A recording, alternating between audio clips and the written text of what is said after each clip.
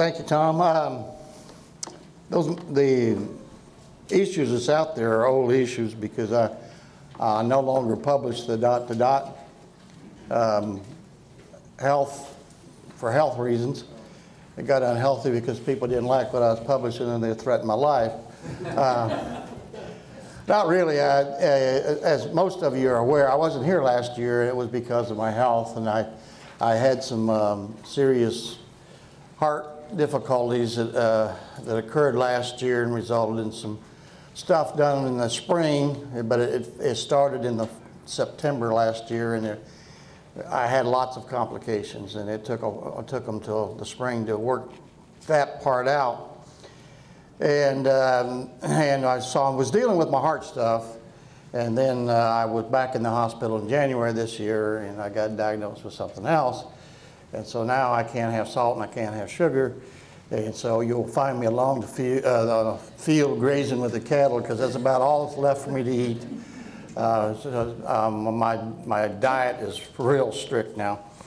And uh, so anyway, um, I, this is the furthest I've gone away from home in the last um, several years because of my health problems. So I had to uh, determine to, to, start giving up some things in my life that I enjoyed doing, but still they, they put me under pressure because uh, the, the magazine I used to publish, of course, it was 10 issues a year. That put me under a deadline pressure all the time. And uh, so I had to start giving up some things to take off some of the pressure. And um, I enjoyed pastoring the two churches I pastor, so, uh, so I, I, started by, by you know, keeping that. but uh, other things I had to give up. Although I've begun to venture into some other projects when I get back that uh, entirely different in different uh, direction, and so I'm looking forward to getting started on those when I get back. Uh, and I can, I'll tell you more about those one of these days uh, when uh, I'm further along with those. But I can just, I'm excited about the possibilities. Okay, one of the joys of being the first speaker at any conference, any conference. This happened to me, you know, ministers' conference. I've been to ministers' conference uh, on, on I, sometimes I've had the opportunity to be the first speaker, and um, and sometimes I've been way back in the program. And uh, one of the joys of being the first speaker is you can step all over everybody else's material. you know? And, and she has stepped all over my stuff that I'm going to do for the next two days. So um, we won't be here long tonight. We won't be here long tomorrow night when I end. And but Sundays I'm a preaching, so I love to preach. So we, we may be a little longer so on that. But anyway, we're, we're going to look at some things and look at some maybe some current things and current trends. Uh, pieces of information, some that she has alluded to already, some that, that uh, you may be familiar with already, but see just some interesting things that are happening in the world that might escape, certainly escape most of the world's attention. Maybe not all Christendom, uh, but I fear that it, it, does escape a lot of Christendom. In fact, one of the things that, uh, one of the real reasons why this conference is such a beneficial conference is because I think we're losing, are losing people's interests in, uh, in prophecy as, and as I think Kathy even kind of made it, alluded to, uh, people are just satisfied with a sermon, uh, or, or, not a sermon, but a Sunday school lesson, or just a, a comment that just simply says Jesus is coming again, and that's about the end of their what they want to know about the prophecy realm, and that's too bad. Uh, again, uh, Kathy has some wonderful uh, things that she has done to show us the depth of prophecy that is out there and how God has interwoven all this stuff together and he's revealed his plan. And um, the deeper you go the, uh, the, the, more you see and the more fascinating it is to me. And uh, i just love it. And uh, and I, I, love the time that i can do all that but i don't get all the time. Of course i want to, to study it. Uh, and uh, to flesh some of these things out but I want to look at just some things that are happening again in the world. One of the most interesting things is this find of the seal of the prophet Isaiah that they found. And uh, they found it down in here in this territory that's got the, uh, the red circle. area. and uh, this, uh, here's a, here it is. Um, the, the clay impression that has uh, it uh, has the name of Isaiah on it, and it also is from his time period in the 8th century. They can't say conclusively that it's the uh, same Isaiah, but it fits all the markers of that.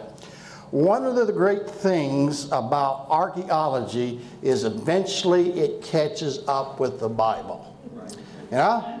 Amen. Uh, uh, if you give archaeology enough time, it will prove the Bible. And I think one of the great case in points, you know, is uh, Daniel the fifth chapter in Belshazzar. You know, boy, for centuries, they said, there was no Belshazzar that ever ruled. And so, uh, you know, and uh, so then we find, of course, the, uh, that uh, the ziggurat down Ur that has his name on it. There is the, uh, the cylinder, Nabonidus. We find out, of course, he was a co-regent. Nabonidus was his father. He, he got out of town because uh, the taxes were high. The living was high in Babylon, and he couldn't stand the pressure. And so he, he took a group and went on the field and left Belshazzar, his son, and he's identified now in history and uh, things we have, left him there. And that's why Daniel, uh, why the fifth chapter, Daniel makes so much sense when Belshazzar says, I'll make you third in the kingdom. His father was first, he was second, Daniel was third. Perfect math, perfect yeah, pieces of information. History was always there. Uh, but uh, people did, doubted it. They were, in fact, the skeptics would look at that, and the critics, and say, you know, uh, here's here's the proof that the Bible is wrong. Now, now you find out archaeology proves it right. And this could be the more that they dig, the more that they find this could be something that deals with the with the actual prophet Isaiah. Makes no difference to us, and it may not make a lot of difference to other people uh, necessarily, but I do think that it is certainly an intriguing find that they have found, and they continue their digging around uh, Israel. I like this uh, because for the prophecy came not in old time by the will of man, but holy men of God spake as they were moved by the Holy Ghost. And that certainly fits the man, you know, that, that we're, we're, talking about here, who they found is. Um, was, there was a man in the Old Testament spoke, uh, that was one of the great men. One of the things you know, I noticed when we came, of course, you don't have a drought this way, do you? Got water, water, water everywhere. Um, uh, that's interesting, and, and, it has a little path of, of, water that goes up through there. But the, there is actually a lack of uh, precipitation across the southern and western United States that's led to a growing drought this winter. 36% of the, of the country is experiencing some form of drought.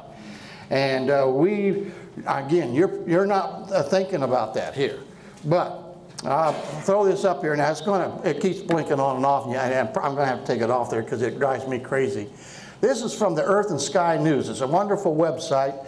Uh, you might want to get that. It'll send you daily information about stuff, not just stuff like this, but also, we're going to refer to it a little bit later on, something else but it shows uh, the patterns here. But one of the things, and I'm going to, I'm going to leave it because you, you can't, your eyes will not keep up. One of the things that, that's interesting in all that, it, uh, we are in a, um, uh, on the, the verge of a famine, a food famine in the United States. Two things can contribute to a famine. One is a drought. And this drought that we see and where these areas where the drought is happening right now is in some of the places where they produce lots of our vegetables and fruits and things that end up in the, at the market. And so uh, they're having a, a, real problem because of that drought in, in those places uh, that we see. What's the second thing that contributes to a drought? Too much water flooding the fields. I remember one year when I was uh, growing up and we were farming, we planted several of our fields three times because it kept raining and flooding out our new growth. And uh, so we'd have to wait till it dried out, plow it back up, plant again, and the same thing happened to us and happened to us and happened to us. If that's a pattern like that continues, you can't produce food there either. And so you're, you, but we are close to a food shortage uh, here in the United States. And if we have a food shortage in the United States, we have a food shortage in the world. Uh, and uh, you can imagine in, in, many of the other countries, uh, the, the more, the other countries that are not as developed, uh, and who are struggling to, to grow things in the ground where they are, what they're facing, if we're facing this with all the technology and the possibilities that we have, you know, um, we, got, we got some issues. Romans 8.35 says, Who shall separate us from the love of Christ? Shall tribulation or distress or persecution or famine or nakedness or peril or sword? I, I think it's an interesting scripture because we don't often think of that in terms of prophecy realm, but it really reeks of prophecy all through that verse. And famine is one of those things that's mentioned. Will that separate us? You know, Matthew 24, 7, of course, tells us, For nation shall rise against nation and kingdom against uh, kingdom, and there shall be famines and pestilences, earthquakes in divers places. I have in the, um, one of the apps that I also have on my, my tablet is one on earthquakes. And um, it is interesting, uh, when I turn my tablet on, I have to be careful where I am when I turn my tablet on because anytime an earthquake happens, it announces it to me. It's always playing in the background, and it'll tell me. What is, what is fascinating then is to go on that and come and bring that page up then and look to see the earthquake activity and you realize that there is a lot of earthquake activity that happens every day. Every day. And, and, and uh, some of these are, you know, we would consider in the major area, but 5.0 or over that are happening. And uh, we just don't hear about them. And a, lot of the reason we, are getting accustomed to them happen all the time, and sometimes they, they happen out in the ocean, and sometimes they happen in less populated places and so they, they don't make any kind of reporting news, but they're happening, and uh, this is increasing. Uh, the numbers show that the earthquake activity is on the rise. And uh, we're due for some severe stuff. We had one, uh, we had a little one in South Carolina here not long ago. Um, a lot of people don't think about South Carolina as earthquake territory, but actually we are. And uh, I lived in, uh, you know, I lived in southern Illinois at the end of one of the great faults, you know, and uh, we, where other people, you know, prepared for Uh, other weather types of things, we prepared for what an earthquake happening and what we was going to do in the school. And if it was in school, an earthquake happened, you know. Speaking of that, any of you, when you grew up, this is another off the subject a little bit. When you was growing up, when you had some of those preparations, you know, you did those things for the fire drills, and you did the, like we did the earthquake, we did those for the tornadoes because we lived also, I lived also on Tornado Alley, and so we had a lot of tornadoes. Because you ever do those where they, and this is back in the, Cold War era in the 50s and stuff, when we were worried about the, you know, the nuclear bombs and people building bomb shelters and all that. Do you ever get have that where they did those drills in school, where if in case of nuclear attack, you got under the desk what was that going to do? You know, is it a magic desk that you had, you know, and you got under it and uh, you to have any fallout become the nuclear thing? I, I could never figure that one out, even as a kid. But I guess it maybe it gave somebody some comfort. Well, we got a little something over our head anyway, you know. But anyway, that, the, but one of the things that is, is that, of course, people are waiting for California to drop off in the ocean, aren't they? And um, you know, if I didn't have some friends out there, I'd be waiting for that too myself, maybe. But uh, uh, I, am not happy with the left coast. Um, but uh, we're, we're looking at all the, these types of things that are happening right now, and we find also the, the, the disease rate of some of these things are on the rise, and we're, we're beginning to deal with superbugs, and our antibiotics are, are uh, at almost an end at controlling some of these things. And they, in fact, they can't control some of them. But we're right at the end, and there's and, and uh, they're trying to use combinations of them and things to try to fight some of these uh, diseases that, that people are getting now. And uh, there's things I had never heard of. You know, I've, I'll soon be in the, have been in the ministry 50 years. Um, and through that time, you know, you, I go to the hospital and go to the hospital, you hear uh, somebody's got this and got this, and it all stays kind of standard for years. All that stuff, you know, a gallbladder out here, a, a thing here, you know. But now I'm hearing all these things I never heard of before you know, and uh, they're showing me the areas of the hospital that I didn't even know existed because they have to have them to, to treat some of these uh, uh, uh specialized diseases that are going on now. Uh, I dealt with, I had a couple of kids, uh, and they was in the same family, but each one of them had a rare form of cancer. They, they, were different cancers, but each had a rare, for, rare form of cancer. One had, there's only three known cases of it uh, in the United States, and the other one, uh, there was only four known cases in the United States, and they had no idea how to treat it. There was no, there was no protocol that they had, and they just, they just shot in the dark. Fortunately, both of them lived and, and are in adulthood today, but uh, they did, there's something that they was dealing with that they didn't know how to do. There's more of that going on. Okay. And so, uh, uh, this, is, this is, of course, the flooding that's taken place to the Midwest, and you've seen it through here. And if you drove over here like we did, and we'll, that's all we saw out in the fields is lots of flooding. But it's going on up the Missis, uh, up the Ohio Valley, excuse me, and up through there. Uh, that was a, a, riverfront stadium in Cincinnati we saw there. Um, maybe this make the news about the asteroid came closer to the Earth than the moon. That happened February 25th. How many saw that on the front page? Uh, did you see it on the second page?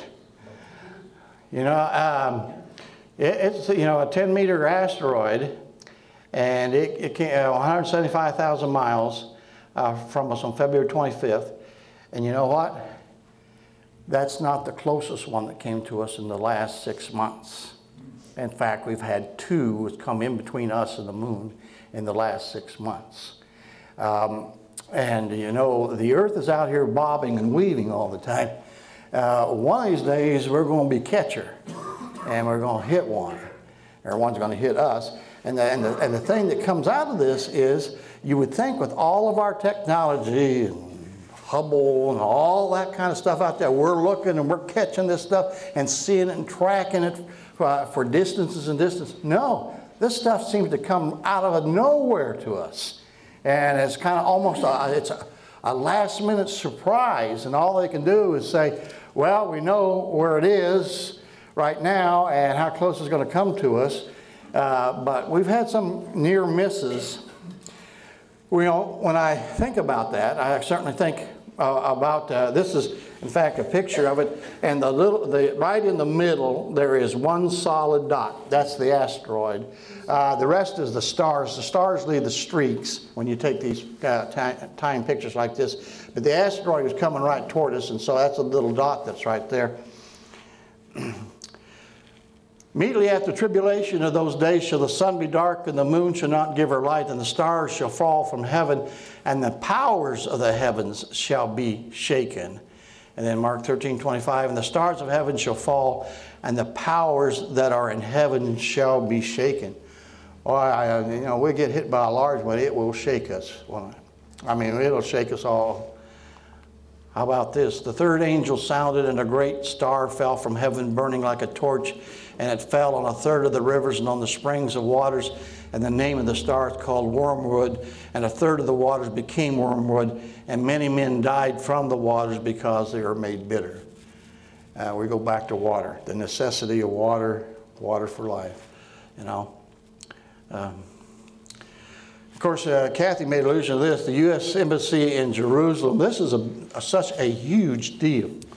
Not because we finally had a president that did more than promise moving the embassy of the United States. We've had several that did that, but that because he did that, but the significance of this, uh, not just politically, uh, but it's, it's not just a spark that's going to ignite something. This is a full-blown flame that's going to start, I, I think, has the possibilities of starting a whole scenario of events, prophetic events that are going to happen, and I, I think to happen bang, bang, bang, bang, bang. When this stuff starts happening, if you're not up to date, if you're not paying attention, if you don't know your prophecy material, um, you're just going to be overcome by all that's happening, but you're not going to necessarily realize this all stuff that, has been uh, prophesied uh, here. Um, here's the, uh, the U, U.S. Uh, ambassador to Israel. I'm going to tell you the truth. If I was the United States ambassador to Israel and if I was part of the embassy team, and uh, they set up the U.S. Embassy, which they want to set, uh, set up here uh, soon. Uh, I wouldn't move in for a few weeks. Uh, I think it's got a high possibility of some, some good uh, terrorism to take place. in fact, um, you know when they want to move in, don't you? May 14th of this year. What is that? Anniversary of Israel becoming a nation. How many years is, will it be from the time they became a nation till the time they move in? 70. Isn't that fascinating? Of course, sevens don't mean anything, do they, Kathy? No, no, no, no. So, isn't that fascinating, though? May 14th, 70 years uh, exactly, and uh, you know, uh, that number comes, well, Behold, I'm going to make Jerusalem a cup that causes reeling to all the peoples around. And when the siege is against Jerusalem, it also be against Judah. It will come about in that day that I will make Jerusalem a heavy stone for all the peoples. All who lift it will be severely injured, and all the nations of the earth will gather against it. Uh, I think we're going to see some action transpire uh, during uh, in the next few months. Um, I can be wrong because I don't. I you know I don't. Uh, uh, uh, haven't seen the full program. God hadn't revealed the whole full program to me, but it certainly has the possibilities of being a, a real volatile keg that's going to just break wide open here at this time. Um, you see, the United States and Israel are preparing for an Arab attack. And this is a, a picture of them uh, uh, going through uh, uh training for an Arab. They're fully expecting uh, an Arab attack to happen. And so uh, they've been in full training for this. Um, of course, uh, we get this from Iran. Says we will level Tel Aviv, capture Netanyahu if Israel attacks. And of course, this is the, with the possibility that Israel will be the first initiator, not just uh, an attack on Iran now, but another attack that I'm going to show you in a, uh, in a second. But you know what they're saying? Iran says this um, we are going to host the Hourglass Festival in April. Their Hourglass Festival that they're going to host for the other Arab nations in April is to celebrate the destruction of Israel within the next 25 years. That's what they said. So we're going to have a big festival to celebrate that because it's inevitable that we're going to destroy them. And so um, look, look for that. Make your travel plans to be there for that. I don't know how many rides rides they'll have or what kind of game booths they'll have, but it is a festival, so be ready to, uh, for it to happen. But uh, one of the things that's interesting that could start all this is the Iranian base uh, near Damascus in Syria. Uh, and there is one, I may have another picture here of this uh, base. But they are, yeah, they're building this military base uh, in Syria. Uh, it's not far from the Israeli border, but it's, it's close to Damascus. Um, so Israel, of course, doesn't put up with that kind of stuff. You know, uh, they're very quick to, to uh, put anything in, that they feel is threatening them out of order. and they use, they have superior air power, always have. And that, of course, is the reason why they have been able to be victors in most of their wars, is because of their superior air power. And so uh, it, it's entirely possible that they will go to uh, take these out, uh, this uh, Iranian base out, as a preemptive strike, which of course, what, you think, they think uh, people in Iran are going to throw a festival that day? yeah? Nah, they're, they're going to be ready. They're going to be ready. In fact, they're looking for an excuse um, uh, to get in a fight with Israel and to lob things at them. And so it could, this could, uh, again, be something that starts everything to, to happen, and we could um, see this uh, scripture kind of come together. We've looked at this scripture many times, wondering when it might occur, and you know, it's, it's possible that that's what we're looking at. They said, "Come, let us wipe them out as a nation, that the name of Israel be remembered no more, for they have conspired together with one mind." Against you they make a covenant, the tents of Edom and the Ishmaelites, Moab and the Hagarites, Jubal and Ammon and Amalek of the Philistia with the uh, inhabitants of Tyre. Assyria also has joined with them. They have become a help to the children of Lot. So, you know, boy, it names, it names all the enemies. Interesting enough, in that passage, and in another passage, we'll get to this here um, in a second, but interesting in that passage and in another prophetic passage, some, one nation is missing. Between 1948 and 1973, Israel fought four wars with her ally, uh, uh, with allied Arab neighbors. Uh, the neighbor, Arab neighbors are allied. That's an average of one war every eight years. However, it has, not, it has now been four decades since that last major war. Four decades, 40 years. Uh, there must be uh, a reason for this record span of time without more major conflicts. It is obvious from the news that the Arabs did not uh, change. They're still hostile and object to the existence of Israel in their midst, yet they have stopped trying to launch massive attacks on Israel together as, uh, as three times before. What is the thing that has kept them from attacking Israel up to this point? Uh, Syria says Israeli nuclear weapons program is endangering the Middle East. Certainly the United States has been a part of the influence, but Israel has had nuclear weapons for a long time. In fact, this is their research center. And that has kept the other nations at bay. But Iran now, thanks to a a love offering from the United States has uh, soon had the capabilities of nuclear weaponry of their own. One of the other things as we find is the North Koreans also have entered into the, uh, the Syrian uh, also providing uh, some of their weaponry for this. So they they want to get into a proxy fight also, not, on, uh, not with uh, United States directly, but with Israel as the United States proxy in a battle just to test some stuff out. And so they're, they're sending stuff to Syria too.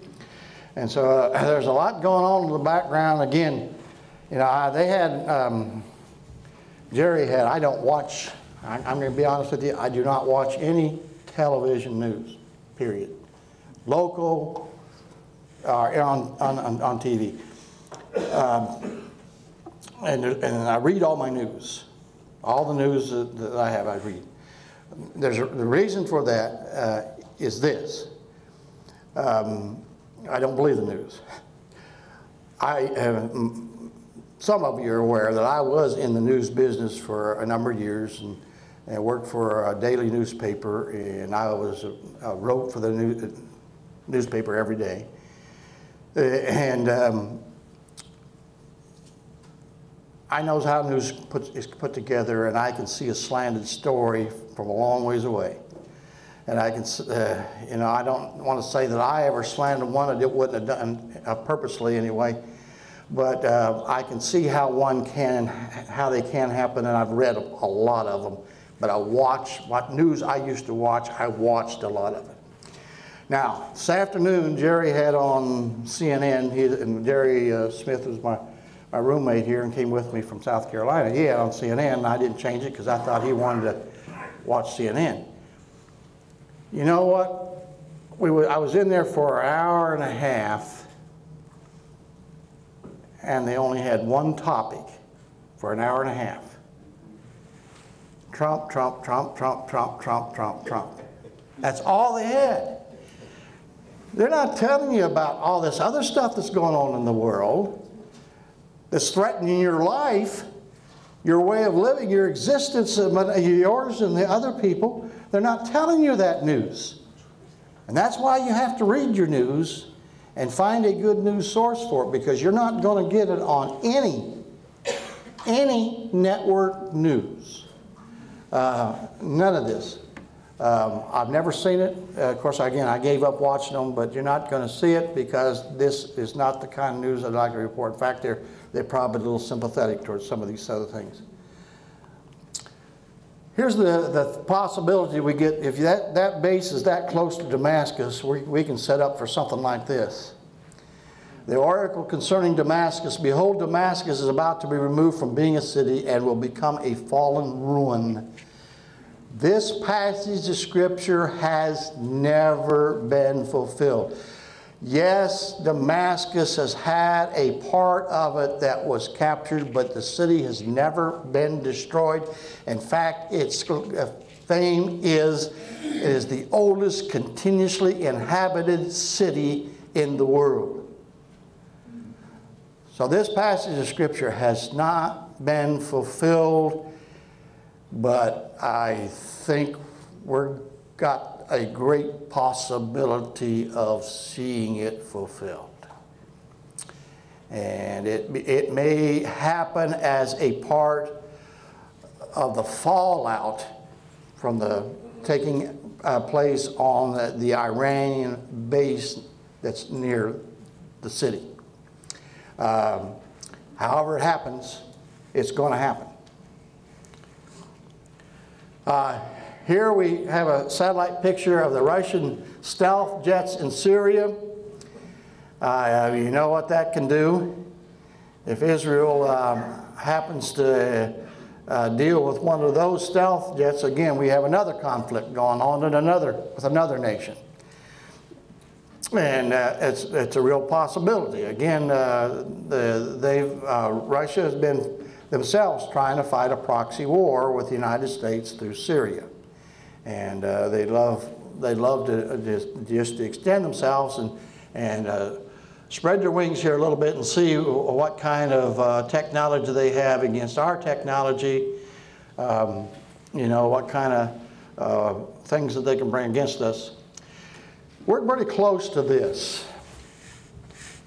Son of man, set your face toward Gog or the land of Magog, the prince of Rosh, Meshech, and Tubal, and prophesy against him and say, Thus says the Lord God, Behold, I am against you, O Gog, prince of Rosh, Meshech, and Tubal, and I will turn you about and Put hooks in your jaws, and I'll bring you out, and all your army, horses, and horsemen, all of them splendidly attired, a great company with buckler and shield, and all of them wielding swords. Persia, Ethiopia, and put with them all of them with a shield and helmet, Gomer with all its troops, Beth uh, Togarmah from the remote parts of the north with all its troops and many people with you. It's interesting in this passage and in, in um, um, Psalm 83, we miss, we miss somebody in there, don't we? One of the Arab nations. Let me double check here. Um, who do we miss in all that?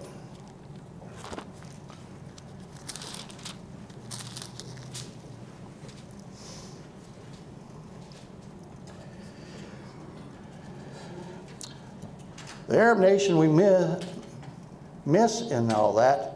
And this one, Psalm 83, is the Arab nation of Egypt. Hmm, isn't that fascinating? They're not in that? Well, there might be a reason. Egypt's president, president, I don't know if he goes by Sissy or not, He goes by El Sisi, or I don't know how, he, or how they real pronounce it. Anyway, declared on Wednesday that his country scored a goal by signing a $15 billion deal with an Israeli company to supply natural gas. He said in the televised comments that the project has a lot of advantages for Egyptians on help turn the country into a regional energy hub. How about that? Who would have seen that a coming? Huh? I mean, really, you know, Egypt has been a primary player in the previous wars. And now they'll have to be a non-factor because they got an economy that's going to be built on something that they're going to get from Israel. So isn't that interesting? And I, again, when you look at those passages, Psalm 83, Ezekiel 38, and there's no mention of Egypt, and you always have to ask your why? Why, why, why? And I don't know if this is the answer or not, but this would sure make good sense, wouldn't it? Why you wouldn't be a part of an attack. So uh, I'm thinking that might be it. Yep.